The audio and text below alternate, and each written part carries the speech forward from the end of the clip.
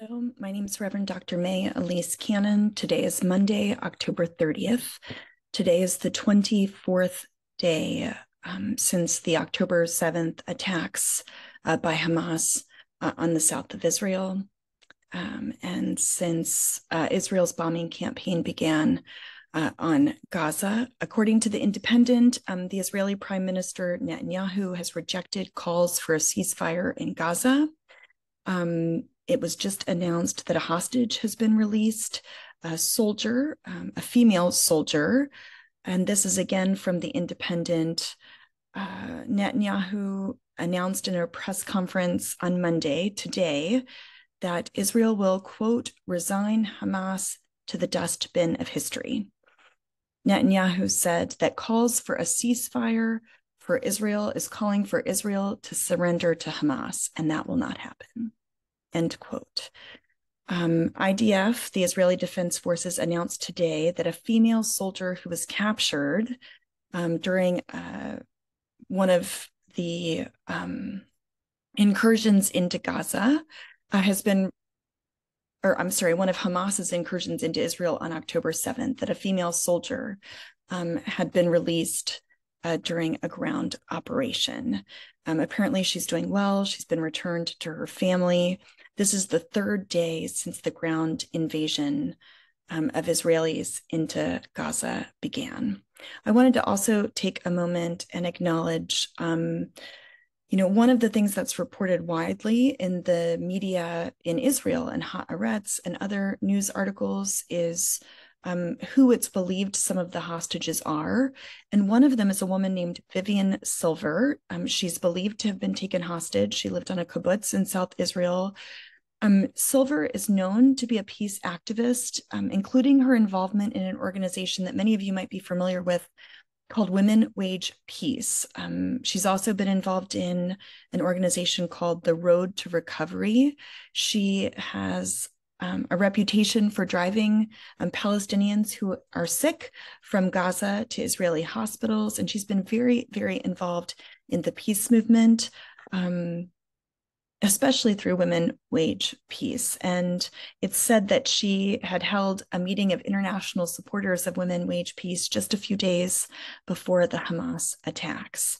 Uh, this was in an interview with the Times of Israel, where Silver's son said, uh, and this is a quote His mother would not have been completely surprised by the Hamas's massacres, but um, he told BBC that she would say that this was actually an outcome of war and quote of not striving for peace this is what would happen and that just reminds me of one of the things I've been talking about. I'm home now. Um, I just finished several weeks of travel. I'll be home for about 12 days before I'll um, be on the road again. This weekend, I spoke uh, in five different contexts over, you know, a 48 period, 48 hour period of time. Um, in the last few weeks, I was in Boston and Arizona and in LA and in Seattle. And one of the things that I've been talking about is that this is an existential crisis for Israel. And as we think about the significance of October 7th and what that meant for the um, fear and security for Jewish people in Israel and around the world, one of the mechanisms of seeking to address security has been deterrence and military power in Israel. And that is what's being employed now. The idea of the Israeli military is going to reestablish deterrence. They're going to eradicate Hamas and reestablish deterrence. And part of what I hear, in the words of Vivian Silver, is that military might doesn't work. Pursuing peace does. Um, and so I'm encouraged by her words. And I, I, pray for her and I pray for all the hostages. And we've been calling on US government officials to advocate for the release of hostages. And as you just heard, the fifth hostage, you know, this female soldier was just released. Um, but when we think about the choices that the state of Israel has, one is deterrence or war. One is um, what I believe we see happening the collective punishment of 2 million people in Gaza, 2 million, more than 2 million civilians to turn off water, electricity, and gas. That is the equivalent of ethnic cleansing. What happens when you turn off water? And so, war, ethnic cleansing, And then the third option is peace. And so our advocacy and um, what we've been talking to elected officials about is calling for a ceasefire, calling for immediate, immediate, immediate water, humanitarian assistance into Gaza, calling for an end to the occupation, calling for peace. Um, we did hear that more water was turned on in Gaza, but we've not heard that the subsequent electricity that's needed has been provided. I did also, before I get into some facts and statistics, I wanted to let you know that there was a large gathering this weekend in the United States. There was a Jewish Republican rally for presidential hopefuls. Um, and apparently, President Trump is far ahead. This was reported in the New York Times. Um, and Trump said this if you um, spill a drop of American blood, we will spill a gallon of yours. He was arguing that the world has become less safe under the leadership of President Biden. And uh, Trump continued and said, I will defend America and I will defend Western civilization from the barbarians and savages and fascists that you see now trying to do harm to our beautiful Israel. And then also the newly elected Speaker of the House, Mr. Johnson, spoke. He's an evangelical Christian. And he said, We're going to stand like a rock with our friend and our ally, Israel. As a Christian, I know and we believe that the Bible teaches very clearly that we're to stand with Israel. So that's reported by the New York Times. Um, according to OCHA, um, the Office for the Coordination of Humanitarian Affairs of the United Nations, I wanted to just give you some updates on some statistics. These numbers are from the 28th and 29th of October, so just in the last couple of days.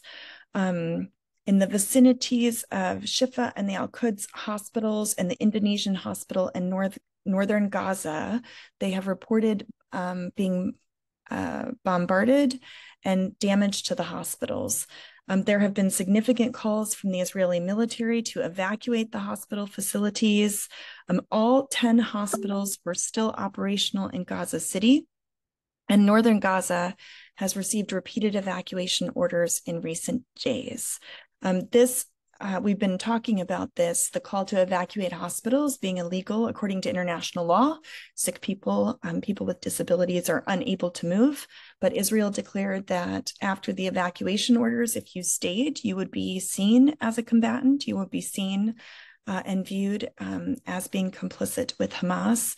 I just got reports personally today via text messages that the Turkish hospital um, had been attacked. I saw videos um, with uh, smoke. Uh, the Turkish hospital, my understanding, is the only cancer treatment cancer treatment center uh, in Gaza, and so um, there was evidence that that had been attacked as well.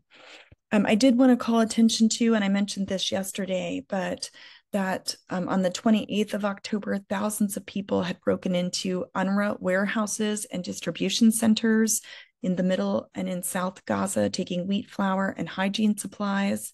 And on the 29th of October, according to UNRWA, their operations director, Tom White, indicated that this was a worrying sign, quote, of civil order starting to break down after three weeks of war and a tight siege on Gaza.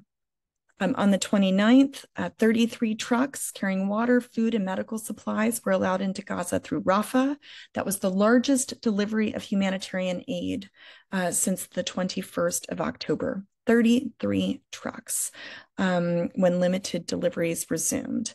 This increase is welcome. This is, of course, uh, according to OCHA, but a much larger volume of aid is needed. And there are significant concerns about civil unrest as um, food is becoming increasingly in limited supply. It seems to be that telecommunications have been largely restored. I had heard that personally. It's also now being reported. Um, between uh, the 28th and 29th of Recorder, the Ministry of Health in Gaza, that is run by Hamas, reported that 302 Palestinians were killed. And so the hostilities um, as of the 29th, and these numbers, of course, you know, depending on when you look, they're updated regularly, was that more than 8,000 uh, and five um, people had already died in Gaza, 67% of whom were women and children. According to Israeli authorities, um, the number now of those held in Gaza is believed to be 239 hostages held um, in Gaza. It's believed 30 of those to be children. Um, four hostages were released between the 20th, on the 20th and 23rd of October. One was just released today. Hamas has claimed that 50 hostages were killed in airstrikes. I wanted to just give a quick update on the West Bank. Um, it was reported between the 28th and 29th of October that four Palestinians uh, were killed by Israeli forces during that time period, um, and that the total number of Palestinian fatalities by Israeli forces or settlers since October 7th is now 115, uh, and 33 of those are children, and that one Israeli soldier was killed by Palestinians. Um, in addition, uh, in the West Bank, um, almost a thousand Palestinians have been forcibly displaced from their homes.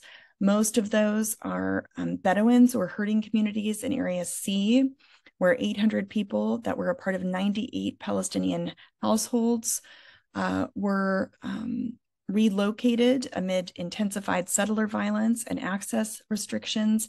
And then an additional 121 Palestinians were displaced following the demolition of their homes by Israeli authorities on grounds of lack of Israeli issued building permits or on punitive grounds.